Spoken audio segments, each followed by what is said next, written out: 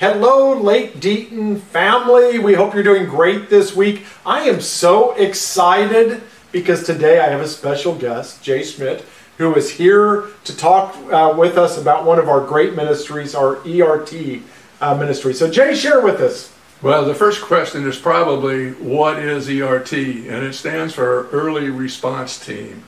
And the Early Response Team is a group of volunteers on the disaster relief side of things that go out fairly shortly after a major natural disaster and provide very specific tasks and support, uh, particularly emotional and Christian support for the, the survivors of, of that uh, event. Um, and so we partner at Lake Deaton, we partner with the ERT team at, at New Covenant, and Gary Mush uh, from New Covenant and myself are co leaders of that group, as well as both of us are certified ERT trainers.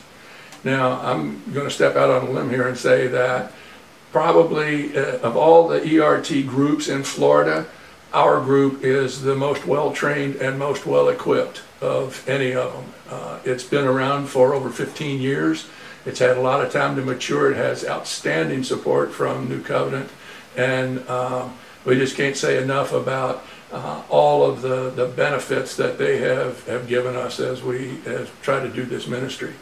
Um, but you know, in, as we go through what it is that we do, we are typically involved, as I said, in natural disasters, and we'll tend to have tasks like um, tarping roofs or removing down trees or, or broken trees or doing debris removal or doing uh, helping people whose house has been flooded, those kinds of activities.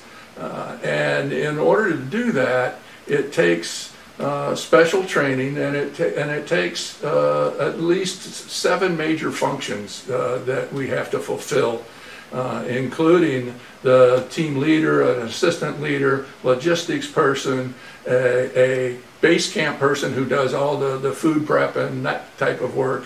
We have equipment maintenance, we have uh, safety, we have emotional support people and, and recorders. Um, those kinds of positions need to be filled. And, um, and when we deploy, we typically deploy for, for about five days, uh, allowing one day of travel each way and three days of working. And the three day limit is usually the result of not wearing you out because this can be a, a fairly strenuous uh, activity. And it's, it's important that we, we not uh, put our own people or the people that we're trying to help at risk by us doing things because we're, we're tired and, and things like that. So as you can as you can tell from the list of positions that we have to fill, um, it takes a special type of training. And so I wanted to talk just a minute about that that training. We are if you want to deploy out into the field for ERT, you must complete basic certification training. And this is the manual for that kind of training. And, um, and so we're going to be teaching this class uh, on uh, Saturday, October the 26th, uh, out at Camp uh, Willis. And it's an all day class and, uh, and it only costs $15. And for that $15, you get a nice ERT shirt, you get a nice badge, you get the booklet, you get other support material for the thing. And, and an additional uh, benefit is our base camp people are going to be there to serve lunch which also serves as a training exercise for them to make sure that all the equipment is functional and stuff as we are in the middle of hurricane season.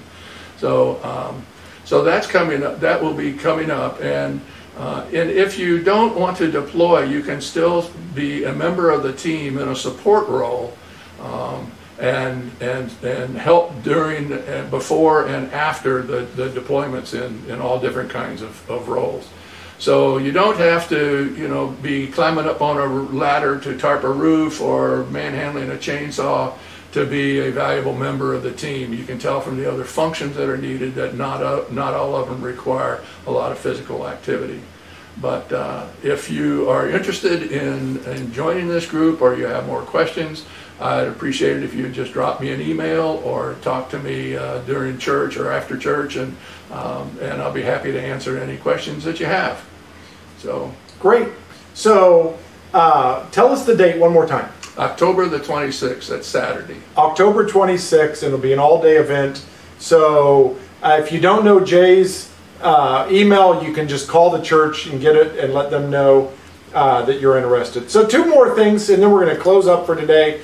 Just remind everybody that this week we have our bargains and blessings truck. It is going to be here this Sunday, the 19th. You can bring all of your stuff that you want to share with other people and donate it. So be sure and bring it this Sunday. And our fall grow classes have started. Our grow nights have launched, but there's still a lot of classes that haven't started yet. So uh, pick up a sheet this weekend when you're in church or go online and see the classes you can connect with and find a way to connect with that. And if you're not doing a class, still come to dinner. It's a great time for fellowship and good food. So thank you for being with us, Jay. My pleasure. And I hope you, uh, some of you plug into the ERT ministry, and we hope you have a great day. See you this weekend. God bless. So long.